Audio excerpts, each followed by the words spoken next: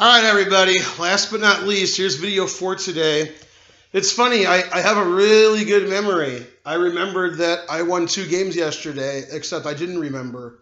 I thought that on the two weeks that I played in the U.S. Chess or the U.S. Chess League, the Pro Chess League, that I won one game each week, but actually I had two losses then two wins yesterday. So no draws, yay. Okay, the fourth game was against a grandmaster I'd never heard of. Um, He's pretty high rated for me not to have heard of him. His name is Yannick Gazzoli, G A Z Z O L I. The French Grandmaster. He's number 10 or 11 in France. And he's their board three. And he did pretty well. He uh, he won the two games that he didn't play Wesley So. Wesley So beat everybody. So Gazzoli had two out of three. And going into the last round, we were ahead by one point. We were ahead, I believe uh, six and a half to five and a half. Does that equal 12? Yeah. So every game was important. So is playing MVL and our board two. This, this is actually the Pro Chess League decided in the last game of the match, the boards would play each other. Board one would play board one and so forth. So that means anything could happen. Either side could win 4-0 or it could be 2-2. So I knew that my game would, would be pretty important because I'm, you know, I'm not playing one of the top players in the world, so I have a chance. Okay, so Gazzoli has the white pieces. He plays d4. I didn't know what he. I prepared for him, but I forgot, and nobody played against him when I play. So I play a lot of different stuff with black. But since I was successful in my first in my debut in the Pro Chess League against Conrad Holt by playing the Czech or closed Benoni, I figured okay, I'll do it again. I won with it last time, and I'm probably the only grandmaster who plays this a lot. Um, I play this probably about a third of the time against d4. I also play the Chigorin, and I'll play the Estonian or Baltic defense. Uh, and I'll do some other crazy stuff too. I play King's Indian sometimes. Okay, and um, this is a common position here. Now, the reason I played this opening is in 1989 or so, when I was in Brussels, uh, Anand came to visit, and Vishy was playing in a, a Game 30 tournament, which I also played. In fact, I played Anand in the Game 30, which is funny. And um, he was playing this every game, and I'd never seen it before. Usually, when they're playing all this block stuff, black likes to play g6, bishop g7. Okay, but Yasser plays this too with black. Now, when Yasser plays black, he likes to play for short castle right away, and then he plays knight e8, and then g6, knight g7, and then f5, hopefully. Um, I play a different way just because I, I saw the way Anand played, and I hadn't seen it before. And I like to do stuff that I have a lot of experience in that my uh, opponents have never faced before. What Anand did is he moved his knight around here. And again, if you do any kind of database search or chessgames.com or anything, something that has a lot of my games in it, you'll find that I'm black in this position quite often, and even in my previous videos. Okay, my opponents put their pieces everywhere. This guy decided bishop d3, knight ge2, so that's fine. Now, there's a famous, famous, there's a famous uh, master uh, in New York. He's a legend in his own mind named Asa Hoffman. Asa Hoffman is a lifelong 2250 to 2450 player, um, FIDE and USCF, first one, then the other. And he likes to play these close kind of positions also. And he once told me whenever his opponent plays knight e2 in any position, he likes to play h5. And the idea is you want to play h4 and sort of kill the knight and you want to gain space on the king's side. And if the knight went to f3, then h5 looks a little silly because you're weakening all these dark squares. So, you know, I used to just play knight f8, knight g6 here, but, you know, what the heck, h5. And there was an Aronian game, because Aronian likes to play this in Blitz and Rapid with black, where he was allowed to play h4, and he won a nice game because the white knight on e2 really didn't do anything. My opponent played h4, which I assume has to be correct. And I went back, back to my usual plan of knight f8 to g6 and bishop d7, completing development. And here, you know, if white's not going to play g4, f4, which seems really unlikely, uh, he's got to play for b4. Otherwise, nobody's ever going to do anything. So he played a3. Makes sense. And I wasn't sure what I wanted to do with my king, but since I played h5, I thought it might be a good idea to have my rook defend my h-pawn and if the king side ever gets opened up, probably my rook's good on h8, not so good on f8. So I just play king f8. And the point is, if I want to, my knight on f6 can maneuver to e8 and then maybe c7. Or if the c pawn gets traded and I take back with d pawn and d6 is available, I can play knight e8 to d6. I actually ended up doing that. And I'm sort of making a waiting move. I want white white to do something. So bishop e3, king g8, and white played b4. This is very funny. If you watch a lot of my videos uh, or you're my private student, um, a lot of times I say never move pawns because you make too many weaknesses. Well, white's moved all of his pawns. So this was the problem that Conrad Holt had against me a few weeks ago. And you can find that game if you do a search of the Pro Chess League games. Um, I think it was week one. But uh, he pushed all his pawns also, and eventually there were too many weaknesses. And after b6 and he traded, I actually had to think here. White doesn't have to trade on c5, but it gives me a decision. Uh, the computer does not like my move, but I really like playing knight e8 to d6 if I have a chance. I took back with a d pawn. Um, and of course, I, I will now have a chance. Okay. Now, a lot of people won't play these positions with black because white has more space, white has a passed pawn. You know, black doesn't really have any counterplay to speak of. But usually in blitz and rapid, I find my opponents get too frisky and they try to play too aggressively with white instead of slowly building. Who wants to slowly build in blitz chess? And usually black gets a lot of counterplay then. Okay, white made a move which you may find weird, but I've played these openings so often I don't find anything weird. He played king to d2. And the king's really safe in the center because the center is just totally blocked. And now if white wants to play on the queen's side with something like a4, a5, or white wants to play on the king's side by pushing his kingside pawns, this king's okay on d2. Okay, I played my knight e8 to d6 maneuver. He played a4, makes sense, knight d6. And he played knight b5, and I had a real think here I wasn't sure what to do. I thought about playing bishop takes b5, but after a takes b5, he could double or triple on the a file, and I didn't really see any counterplay for me. So I didn't want to weaken my b6 square by playing a6, but I decided to do it anyway. Um, this way, if I want to play b5, I'm, I'm ready to do it. So again, it's very blocked. It's very hard for either side to try to break through. But okay, it's a game 15. We both have about eight minutes left here, so Something funny is going to happen eventually. Queen to b3, putting pressure on b6, rook b8, knight c3, making b5 virtually impossible, virtually. And now I decided that my rook was on h8 too long, and that since the last few moves were on the queen side, I wasn't really worried about him playing g4 and f4. So I played king h7. He went back to d1, supposedly, I guess, to put pressure on h5. I wasn't really concerned. I played rook f8. Maybe I'll play f5 later. I can tuck my king away. And if he ever plays the move f4 with a discovered attack on my pawn, I can always play bishop g4. Although, let's face it, if he plays f4 and pawns get traded in the center, his king on d2 could eventually get you know open. Okay, he played queen e2, and I played king g8. So if you just started watching the video, or you just started watching my game on the internet when it was being played, it would probably be very hard for you to believe that black didn't castle this game because it really looks like black castled. Okay, and he played rook h to b1, so I wasn't worried about the king side at all now. I was worried about him doubling on the b file and playing a5 and attacking me over there. Okay, now I played a move that's typical for me in this opening. It's funny how I learned all of my stuff from Anand. I guess that's why I'm winning occasionally. Anand is a pretty good player, five-time world champion and all.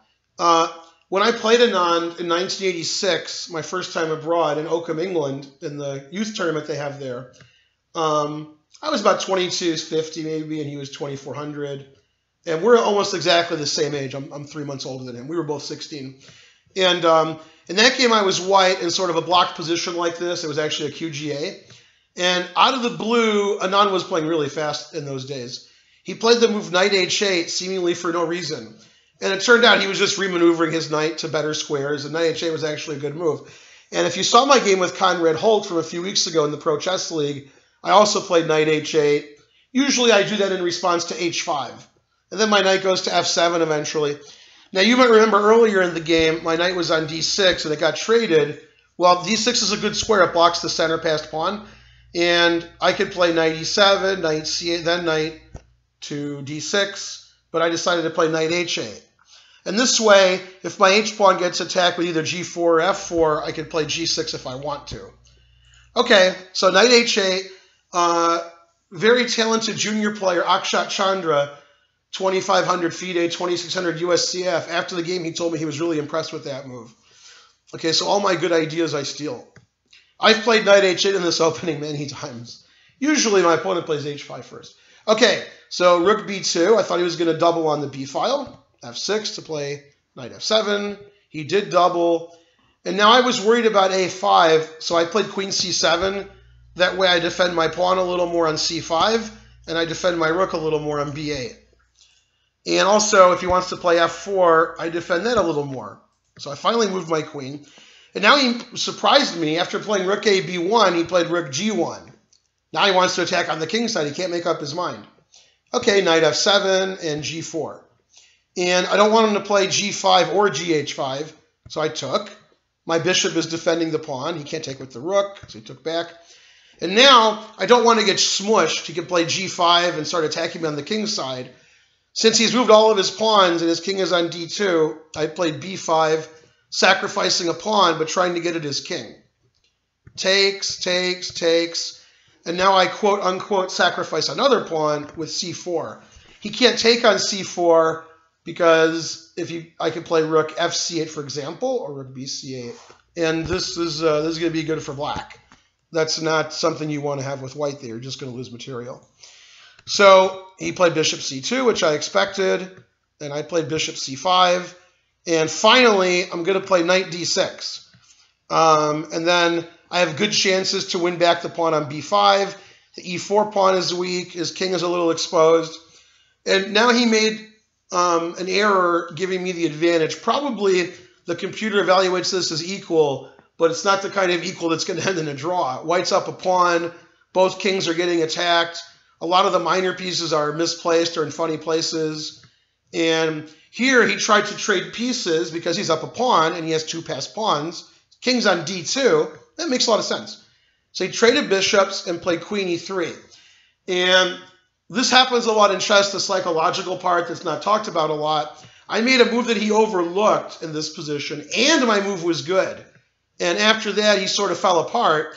And um, this actually idea that he played with takes and queen e3 is actually bad. And in fact, black only has one way to refute it. So white has an advantage here if black doesn't play the right move. But if black does play the right move, the computer gives him an evaluation of about plus one for black. So pause your video and try to find the winning move for black. What did I play in this position? Okay, and I saw the winning move right away. I didn't know it was winning. In fact, I didn't know if I was better here. I thought it might be worse, not a pawn. But I was a little worried to play it, but then I decided it was the best. And John Nunn calls this, uh, let's see, what does John Nunn call this? I've only said it a thousand times. Uh, collinear move. It's when you have two pieces that are moving towards each other and they stop. So, of course, my queen could take his queen, and they both move in that direction. They're both queens, but I play queen d4 check. And I was very confused here. I thought he would play king e2 in one second because I didn't think there was another move. And after king e2, my original idea was to play knight d6 because I wanted to play knight d6 for like the last, you know, six moves. But I realized while he was thinking that knight h6 is a good move. And in fact, after the game, when I was confused why he played what he did, and I said, why didn't you play king e2? He said, oh, I think knight h6 wins. And I was like, it wins? Wow. And I looked, I looked, I looked, I used an engine, and I think he's right. Uh, king e2 is still the best move. What he did was worse. But after knight h6, he's in trouble. Um, for example, if you play sort of the obvious move, Bishop g4 is really hard to meet. His king is having some trouble staying on his queen there. And I could take on g5 first, but bishop g4 check is probably better. Uh, well, knight g4 is not bad either. Knight g4 also wins, I think. So knight h6 is really strong because the g pawn's just indefensible, and I'm breaking through on the king side. So he didn't like knight h6, so after a long think, he took on d4, which obviously loses a piece. I'm threatening a piece, and if it moves, I play c3 check. And also, even if I didn't win a piece, those are pretty nice pawns. And now my knight has another good square. So now black's winning. He played knight e2. I could play d3 or c3. c3 turns out to be better.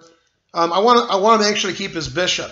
His bishop is blocked by all of his pawns, and if he kept his knight, his knight has lots and lots of good squares. So I want to win his knight, which I did. And for those of you who think three pawns is worth a piece, think again. If you're my private student, you know that a piece is worth nine pawns. Okay, anyway, I played rook c8 check, getting my rook active.